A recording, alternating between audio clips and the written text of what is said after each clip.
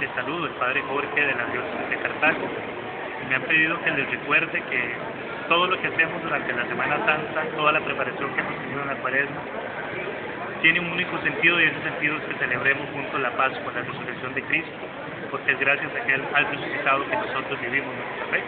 Así que todo lo que hagamos, todo lo que oremos en estos días, hermanos, que nos lleve al camino de la gloria, al camino de la resurrección.